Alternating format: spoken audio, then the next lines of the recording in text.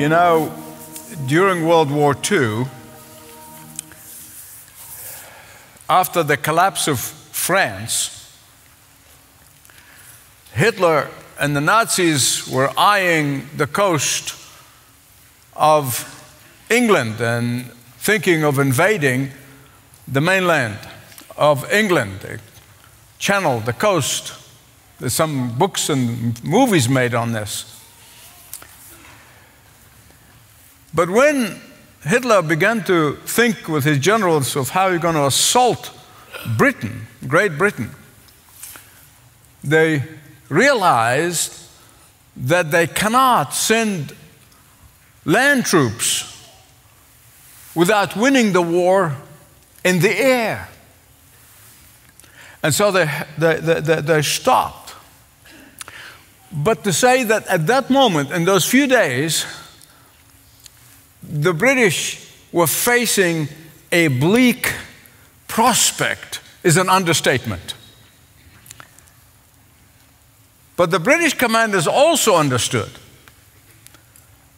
that if they are to rep- repel the Nazis' attack, the RAF, the Royal Air Force, has to fly high above, in much higher altitude than the Germans are able to. And so they did. And this was one of the main reasons why the British were able to repel the Nazis. You say, Michael, well, we came here on Sunday morning, to get a lesson in, on Second World War and history. Now, there's always a reason for telling you whatever I tell you. because, listen carefully, fighting from above is God's strategy for His children to will to win the invisible war. That's God's strategy for us. And that's not, I'm not making this thing up, it's from the Word of God. In fact, in Ephesians chapter 1, verse 20, when the Apostle Paul is talking about God the Father raising God the Son from the dead, he goes on to explain it. He said, When he raised him, he meaning the Father, raised him, the Son, from the dead, he seated him in the heavenly places, far above all rule and authority and power and dominion, and above every name that is named. But that's not all. Every name that is named, I want you to remember that. Every time you watch the news and you panic, remember that Jesus has sat by the Father in the highest of heaven above every name. I don't care how powerful that name is on the earth. Jesus is above that name. But not only name in this age, but the age to come. When the Father raised the Son from the dead, He gave him the highest spiritual altitude possible. No one can ever get higher or even close. He set him above all rule, authorities, power, and dominion. He placed him above all the angelic realm, that is, the good angelic realm and the evil angelic realm of the demons.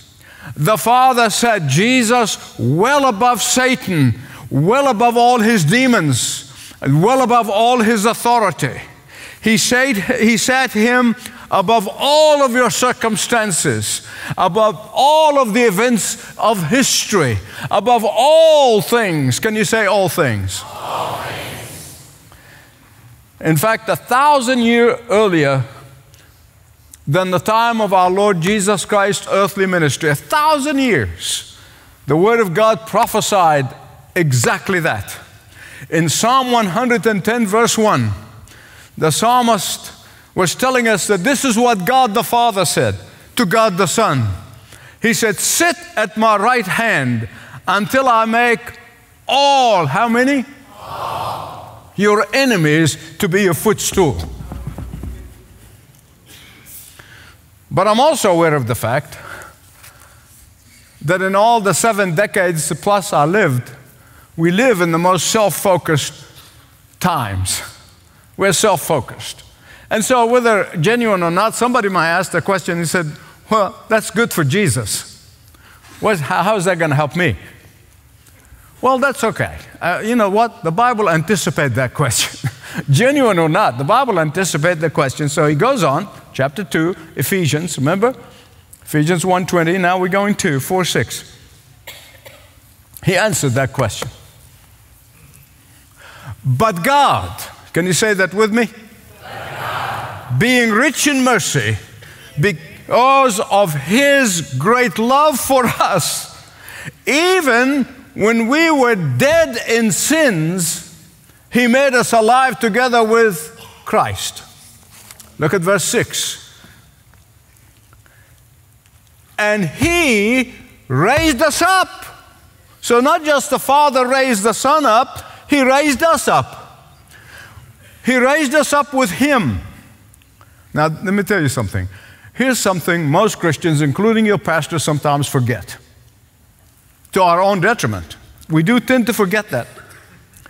That He raised us up with Him.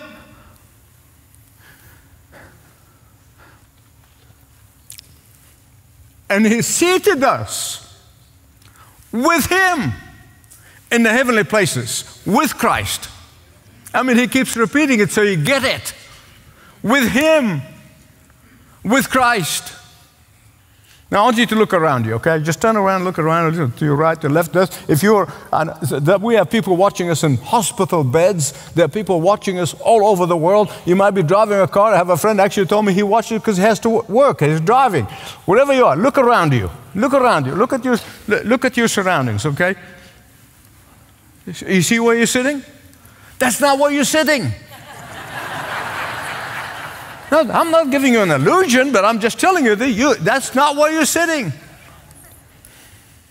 You, this is not where you are sitting. This is not real. You are sitting in the heavenlies. You are actually sitting in the heavenly places right now. Not here, not wherever you are.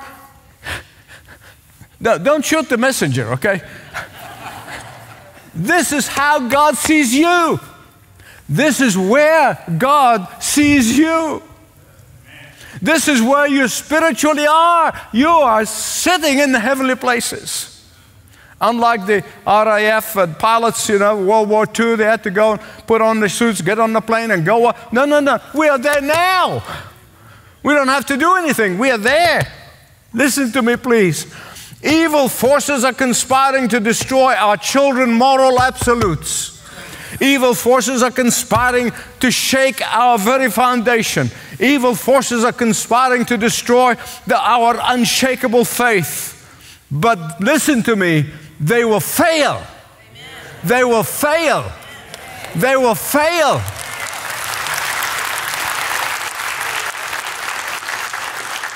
As heirs of the everlasting kingdom, we are already on higher ground. Wake up to it. We're already given all that we need to be successfully victorious over our enemies and his attacks appropriated. We already have vantage point uh, of being able to send Satan scurrying and running do it.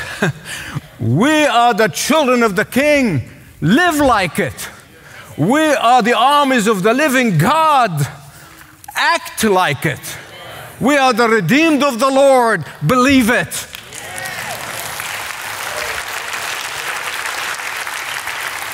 Now, my beloved, the high altitude in which we have an overwhelming advantage over the enemy of our soul God wills it so.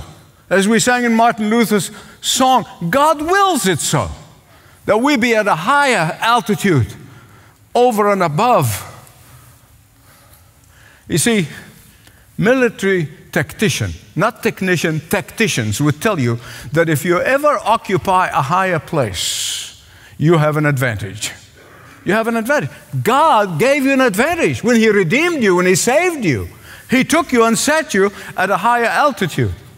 The problem arises, listen to me, I'm aware of the problem. I have been a victim of it. Now, I don't like the word victim, but I've been, uh, I, I, fail, I, I fell for it several times, okay? The problem arises when the enemy tricks us or deceives us into leaving our high ground and come down to his murky valley. And when you come down to the enemy's level, the advantage then belongs to him. And he ruthlessly uses it. I've been there. And I don't preach to you before I preach to me. If Satan can trick you into coming down to the murky waters of disobedience to the Word of God, he will exploit your vulnerability. If he can make you forget who you are and whose you are, and makes you feel defeated because he wants to neutralize you. If he can make you forget even for a few moments, and we all do, even it makes you forget for a few moments that He is a defeated foe. He will make you feel hopeless and helpless.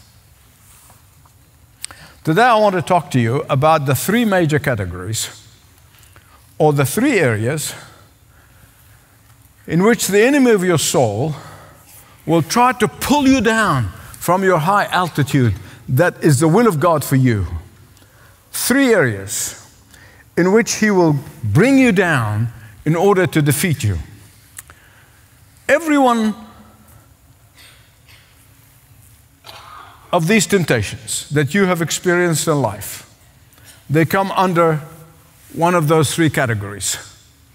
One of the three, every one of them, there are probably hundreds, if not thousands, of subcategories, but they all summarize in three. Every failure you experience comes under one of those three categories. And the Apostle John, whom the disciple whom Jesus loved, they always leaned on Jesus' bosom. He heard Jesus, especially when he recited his own experience of being tempted by the devil in the wilderness.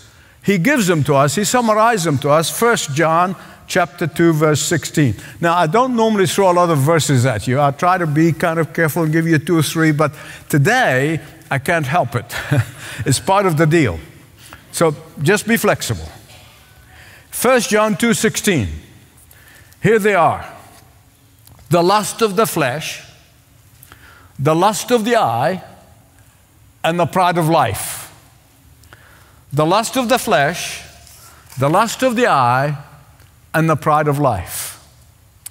These are basically three missile, missiles that Satan used to try to bring you down from the high altitude in which Jesus has placed you and placed me.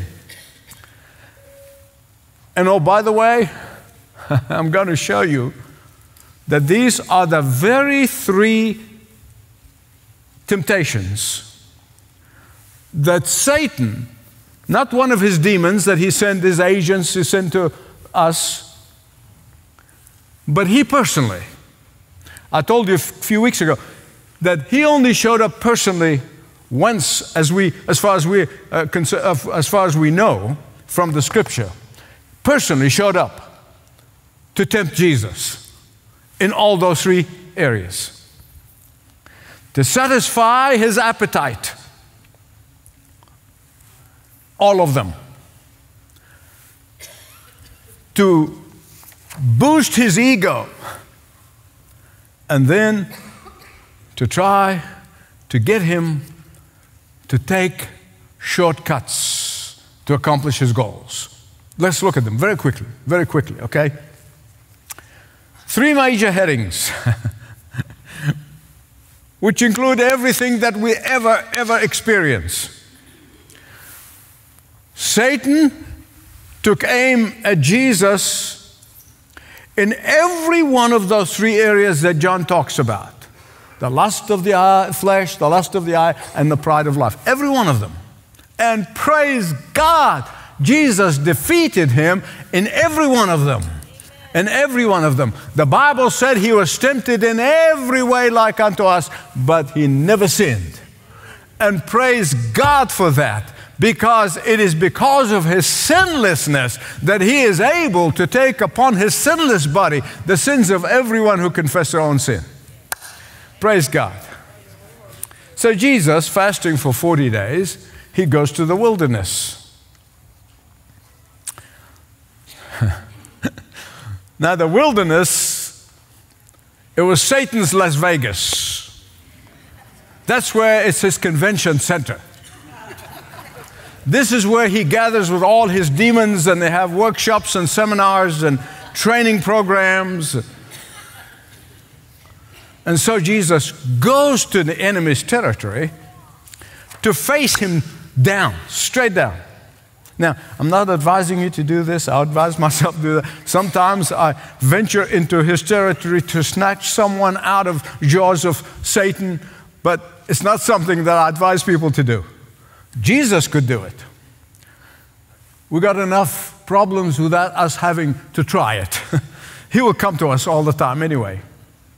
So, chapter 4 of Matthew, I'm going to stay with that for a little while, so you're going to have to flip back and forth. So, Matthew 4, uh, if you don't know, that's the first gospel, right? It's the first gospel. Am I right? Yeah.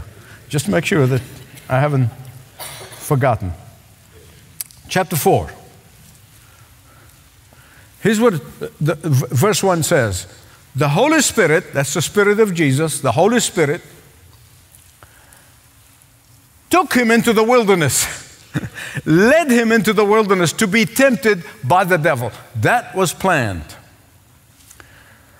This was the start of conflict, which went on all the way to the cross, where Jesus rendered Satan toothless.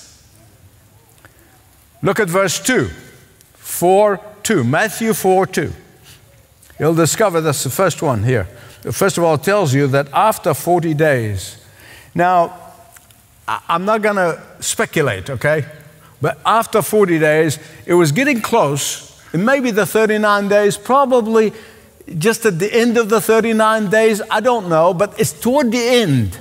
It's getting so close. I'm telling you this for a reason because that's part of the deal here. I fasted, after fasting 40 days and 40 nights, he was hungry. If you have your own Bible, underline the word hungry. Verse 3 And the tempter came to him and said, It's the first of the three.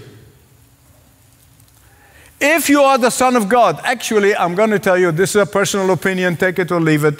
It is my personal opinion as I looked at the text in the, every sideways and in the Greek, more accurate, more really literal, since you are the Son of God. Since you are the Son of God is more accurate translation. Command these stones to become loaves of bread. Hmm. After fasting for 40 days and 40 nights, this is what you call starving to death. Now, we always kind of use this figure of speech I'm starving to death. Now, this is really starving to death. And the prospect of bread to someone who fasted for so long is beyond enticing, beyond enticing. As the divine Son of God, Jesus said to the disciples in John chapter 4, when he was meeting with a Samaritan woman, when they brought him food, he said, I have food that you do not know of.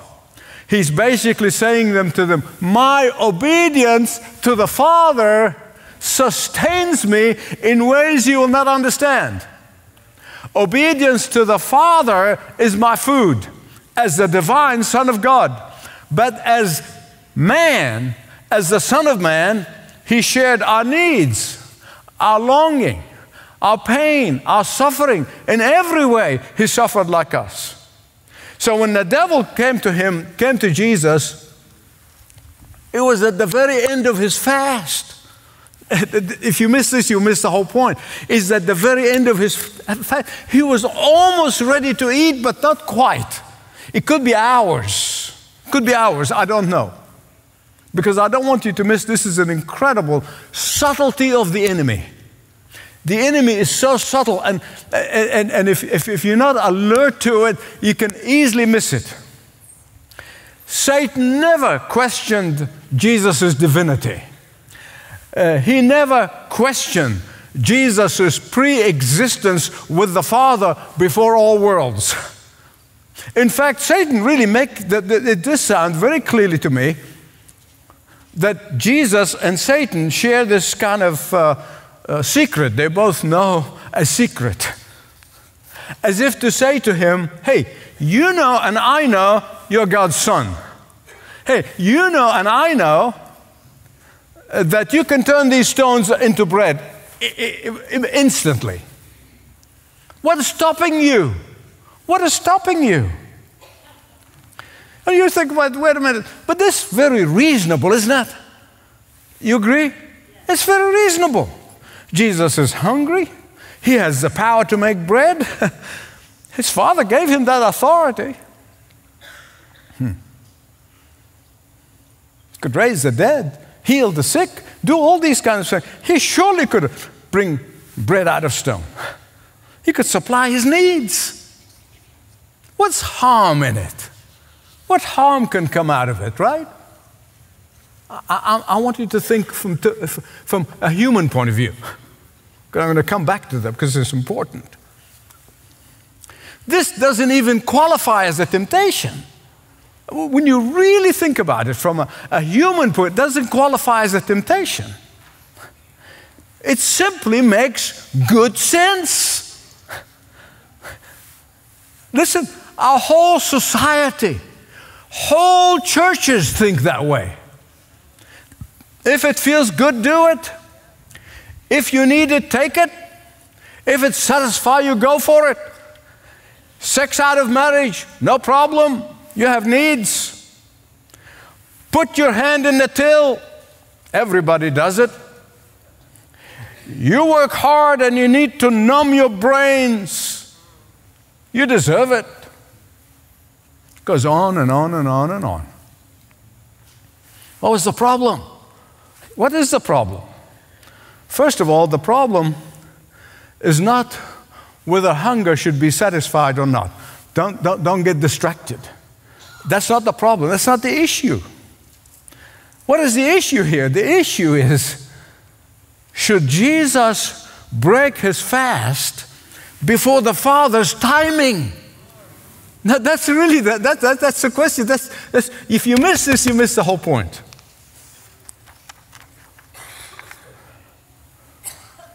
Beloved, for Jesus, this is a serious breach of faith with the Father. Are you with me? This is going back on his vow to the Father. Just like unfaithfulness in marriage is a breaking of a prior commitment to your spouse. I want you to watch this. Watch this, please. Jesus is not saying that bread is not important. He's not saying that. Jesus is not saying, I don't need bread. No. Jesus did not say, fasting is not fun, but I've got to do it. No, no, no, no, no, no. No, no, no. He said, My obedience to the Father, my commitment to the Father my waiting for the Father's timing is far more important. Look at verse 4, Matthew 4 4. Jesus responds, He said, It is written that man does not live by bread alone, but by every word that comes out of the mouth of God. My beloved friends, the secret of Jesus' victory is the secret of your victory and mine. When Satan tries to bring you down from your high ground by appealing to your desires and your appetites, all of your appetites, use the scripture.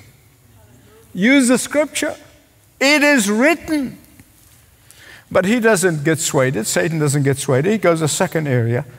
He moves on after failed to get Jesus to satisfy his appetite before, the time, before its time, before the Father's timing. He goes to boost his ego. Listen, don't let anybody fool you. Or we all have egos. We all have egos. You got that? The difference is some of us daily trying to sanctify our egos, others are not. So he goes from the lust of the flesh to the lust of the eye. How is that? Well, look at it. You see, Satan knows if he can get you to see it, if he can get you to see it, if he can get you to feel it, if he can get you to experience it, if he can get you to taste it, he knows. The rest is history.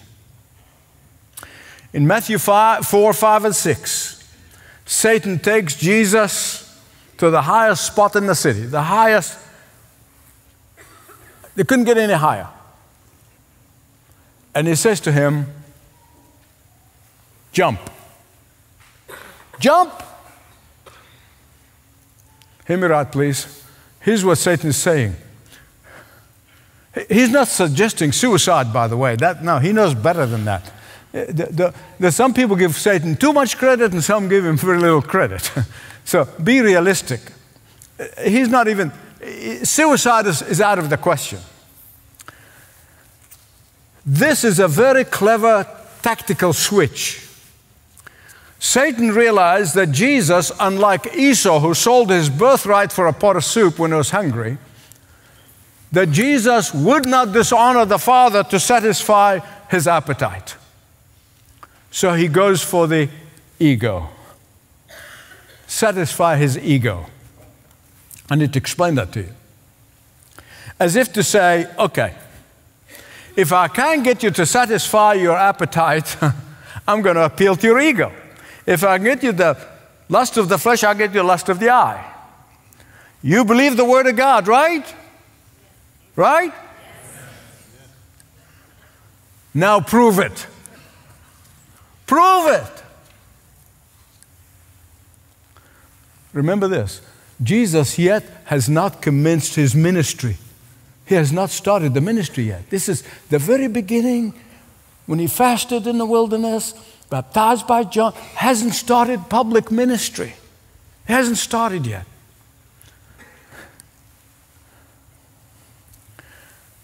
And so Satan was telling him, start your ministry with a spectacular stunt. Remember this Jesus knows God's promises, right? Right? Jesus knows that the Father would have delivered him had he jumped, right?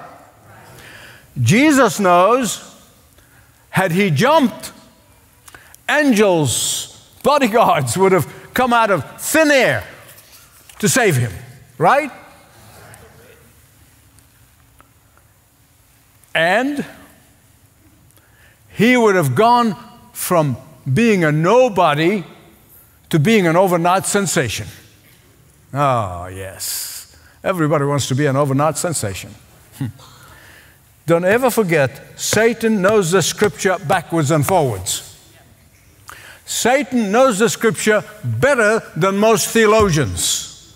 In fact, Satan does something that most theologians do not do. He trembles at the word of God. Oh, that we would tremble at the word of God. So please, please, please be very wary of Satan's followers, these false teachers and false preachers. Oh, there's so many of them now. They will produce a verse from here and a verse from there and support their arguments for immorality. Be very wary of those who claim that they have discovered a new way of interpreting the Bible. Be very wary of those who say, Isn't God love? Therefore, love is God. By that they mean any perverse love. So they make God out of love and they worship false gods. Listen to me. If they are appealing, I'm talking about the false teachers now, listen carefully. If they are appealing to your lust of the eye, if they are preaching the gospel of greed, if they are offering Christianity without the cross, if they present a God looks more like Santa, run. Run. The whole advertising industry is built on this area of the lust of the eye, isn't it? I mean, they know if they keep displaying it in the right way for long enough, you're going to end up getting it. You see a 50 year old looking like 20 year old and you want another secret. Hello. You see a famous athlete wearing certain clothes, I want those. Someone eating certain food and make him look good, you're going to eat that food. Except that sometimes backfires. As many of you know, I struggled with my weight for a long, long time, and I still struggle with my weight. And this is years ago. Years ago. I was really trying to go on a diet and exercise and all that stuff. And a friend of mine said, Michael, if you go on a diet, don't ever eat cottage cheese. I said, Obviously, he was having, I didn't know, I fell for it. And I said, uh, Why? He said, Cottage cheese make you fat. I said, Really? That's contrary to everything I read. He said, Have you noticed how every fat person eating cottage cheese?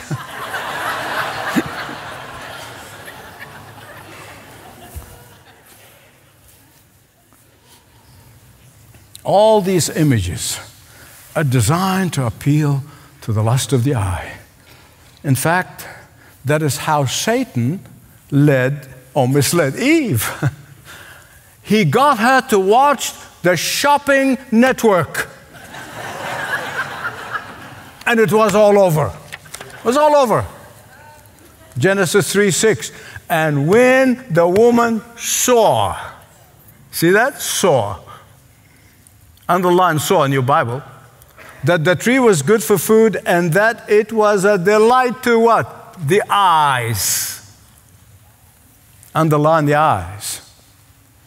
And desirable to make one wise, she took.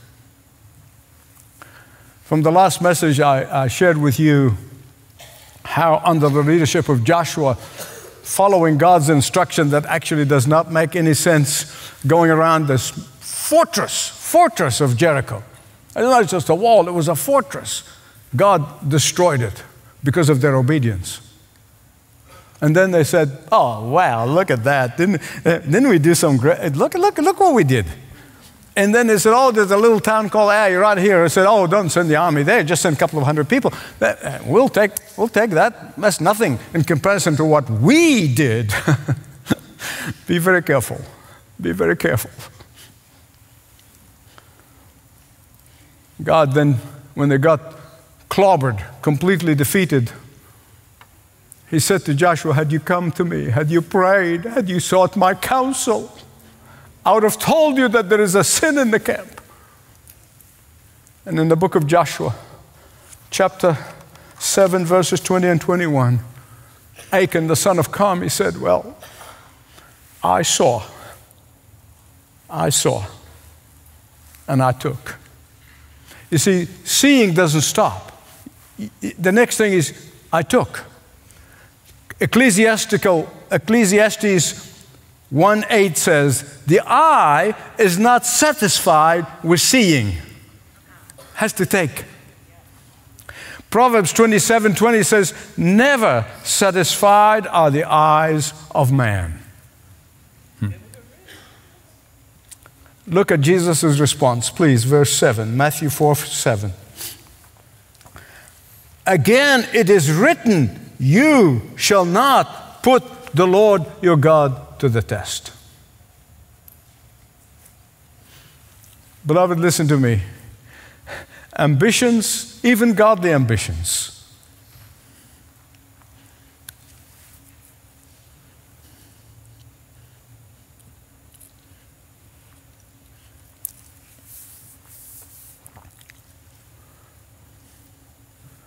Must be tested. Must be tested. We know that godless ambitions, whether physical hunger or hunger for sexual appetite or whatever it is, these, these, these appetites are fine in the legitimate context to be satisfied with pure motive. But when they are out of the legitimate context, they will bring you down from your high altitude. The lust of the flesh, the lust of the eye. Thirdly, the pride of life. Well, we know what pride is, but we don't know what the pride of life is. What is that pride of life? See, when Satan could not get Jesus through the door of fulfilling his bodily needs, his bodily appetite, the wrong way, he tried to entice him through the eye gate. And when that failed too, Satan says, You can have it all now. You can have it all now. That's the pride of life. That's the pride of life. You can have it all now.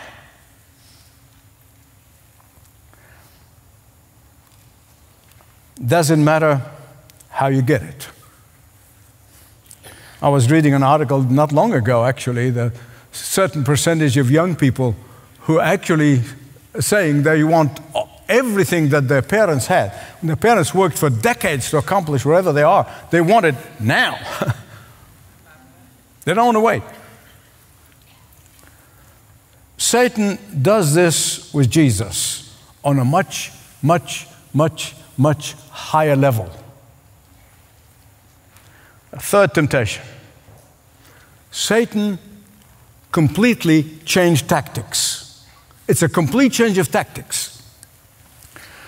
Satan could not break Jesus under the pressure of appetite fulfillment. He could not get him to buckle under the allure of fame and spectacular and instant success. So he makes a very critical concession. Make no mistake about it, Satan is making a concession here. And this one really needs an explanation. In order to comprehend this particular third one, it's so subtle. It's so subtle. I wish there's another word I can, I can explain that. It, it can really go over the head of most people. It's so subtle. You have to understand that when God created the earth, planet Earth, He handed the deeds of planet Earth to Adam. He said, Adam, you are my deputy. Adam, you are in charge of planet Earth. I'm making you in charge. You are my steward. You are, and I'm giving you authority. And when Adam fell for Satan's deception, he handed that deeds of creation, planet Earth, to Satan. Satan tried a coup, remember from the very first message. He tried a, a coup d'etat in heaven and failed, and he got thrown out of heaven. But he succeeds through subterfuge and stilts to deceive Adam and usurp the authority over the earth. And that's why the Bible calls Satan the God of this world. He rules it, it belongs to him. His demons have garrisoned cities of the earth. Why? Why are they doing this? Because they impose a rule. They impose a rule. But listen very carefully, this, this, this, this very important explanation here coming. Satan knows, listen carefully, Satan knows that his takeover of planet Earth is going to be challenged. Is going to be challenged. In less, less than three years, is going to be challenged. So what does he do? He says, let's make a deal. Let's make a deal. Let's make a deal. Jesus, let's make a deal. And be very careful when Satan wants to make a deal with you. You're going to lose every time. Trust me. It's always been God's purpose, and Satan knew it. It's always been God's purpose to wrest back the scepter from Satan and give it to his son Jesus. Ah, but not until after the cross and the resurrection. And here's what happened the demonic equivalents of the CIA. Do you know that the demonic forces have their own DIA? They really do. They have DIA, Demonic Intelligence Agency. Well, they examined all of the, the, I mean, they got some real good analysis there. So they examined the pages of the Old Testament and realized that there is a second David coming, there is a second Adam coming, that there is a new covenant coming, that there is a new heart going to be received by the followers of the Son of God. They knew that Jesus is about to destroy the power of Satan, fear, and death. So, what does Satan do? He offers him friendship. Isn't that sweet? He offers him friendship. As if to say to Jesus, although I know and you know why you're here, although I know that you're going to take it back and you're going to take the deeds of creation back from me, I know also that you are powerful. Why don't we just settle this amicably? Just let's settle uh, amicably. I'll turn everything to you. I'll give it to you now. I'll turn it over. You're looking for the deeds of, of planet Earth and the creation. I'll give it to you. I'll return everything that I took from God. Everything is yours, and I will sign my name on the dotted line. Oh, please, please, please, please notice there is something strangely modern about this. Strangely modern.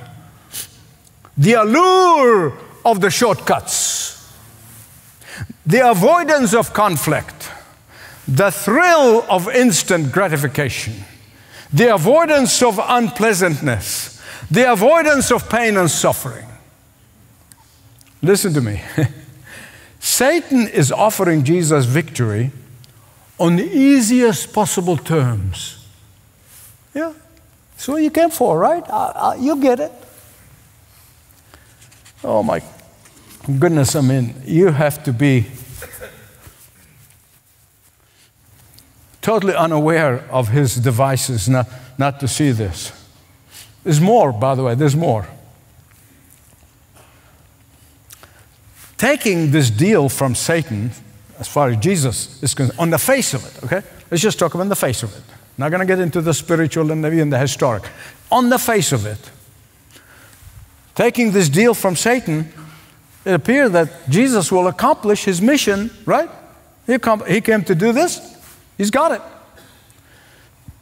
Think with me, please think with me, think with me, think with me. I don't want to think for you, I want you to think with me. when you think about it, the average person today, the average person today would look at this and said, Man, let's go for it. What's wrong with that? That's what you call in the business world a win win deal, right?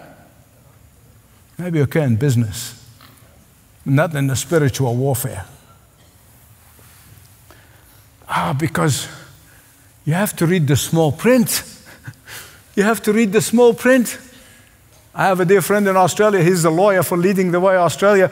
And he always chastising me if I'm signing something. He said, No, no, no, no, you got to read the first one. I said, This is six pages. he said, You have to read every word. I said, Thank God for lawyers. You read it. got to watch for the small print. The small print. The, the, problem is always with the small print. There's a tiny, teeny weeny, little attachment, but it's deadly. It's deadly. Utterly destructive items in that offer. All this I give you. All you need to do, not much, just bow to me. Bow to me. And I almost think that it's not in the Bible, okay, so I, I, I don't want you to go and look for it. I almost think Satan says, you know, you don't have to bow all the way down, just a little bit of a bow. That would be enough. Sure, Jesus would have gotten everything he came for, right? But he would have submitted his will to Satan's will. Satan would have allowed everything that happens in local churches today, everything that's happening today, he would have allowed it just as, as, as if nothing changed, including preaching and singing. He would have allowed all that. As long as they changed the name of the enterprise to Satan and Company. Sadly, there are some churches, local churches, not the Church of Jesus, it's victorious, is never defeated some local churches have handed Satan the keys. Be the same. What's wrong with it? Ah, we would have still being separated from the Father. We would have still be separated from the Father. Most local churches would have looked just as look today except Satan owns it. Question Are you sufficiently forewarned? You can yell back at me, yes or no. Are you sufficiently forewarned? He will offer you the most generous bargain. He will offer you feeling good about doing good things. He will offer you being tolerant and nice. I think the word nice is what Satan used to shut the Christians up. Because they tell them if you speak the truth, you're not going to be nice. The heck with it. I don't want to be nice. I don't want to be nice. I'm going to speak the truth in love but I'll always speak the truth. Beloved, whenever you are tempted to do or fall for any of those three temptations, ask yourself the question. I've done that many times. I wish I could say that I've done that every time. No. Which one of those three areas is he tempting me in? Is he appealing to satisfy my appetites, all kinds of my appetites, in an illegitimate way? Is he appealing to satisfy my selfish desires, my ego? Or is he trying to get me to do my will and not the will of God? Always ask those three questions. Every temptation comes under one of those three areas. And every temptation he throws at you, and every goal that he wants to accomplish you, in you or through you, all are designed to drive a wedge about in your fellowship with the Father. He wants to put a wedge, he was push a wedge between you and fellowshipping with the Father because he knows that fellowshipping with the Father is the source of your strength.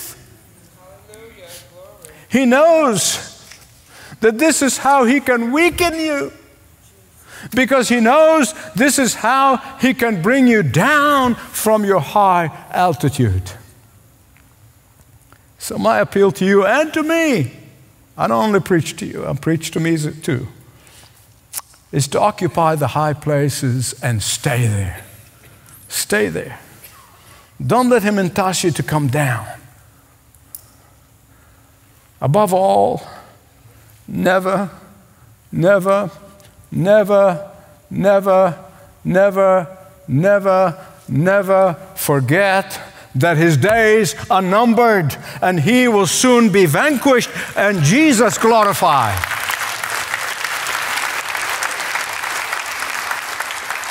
And that, my beloved friends, may be sooner than we think. Lord Jesus. Lord Jesus. Lord Jesus. Lord Jesus.